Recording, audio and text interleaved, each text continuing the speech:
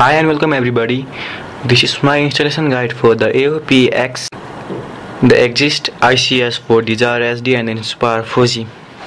So in order to install it you must have a clock clock recovery mode installed in it and your phone must be rooted.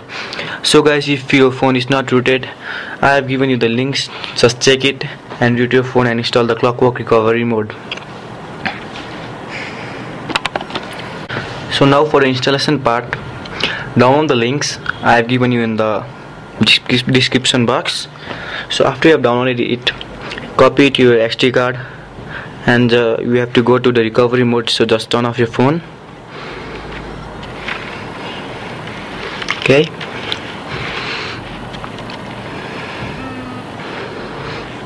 After you have turned off the phone press the volume down and the power button at the same time leave them until you see this and wait for a while.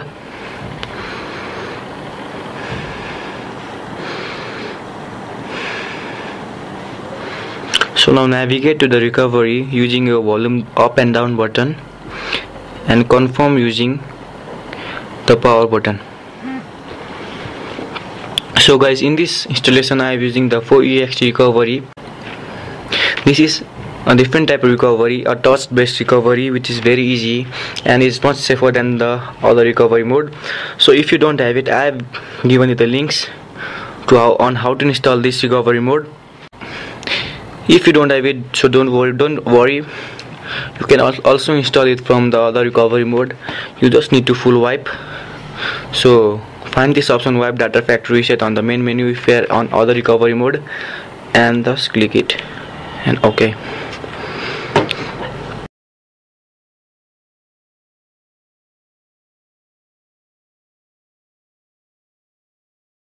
done. Now you should wipe the cache okay?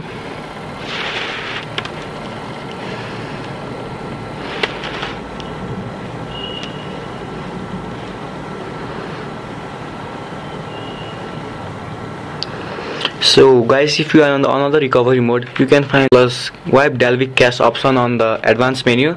So just do that. It's done.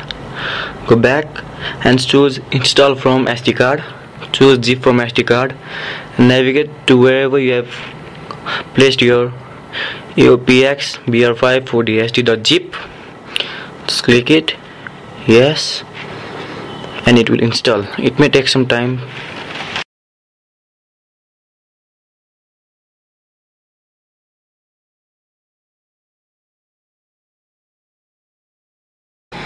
So now that's done go back and hit reboot. Okay. For the first reboot it may take some time. So guys don't worry. It may take up to 4 to 5 minutes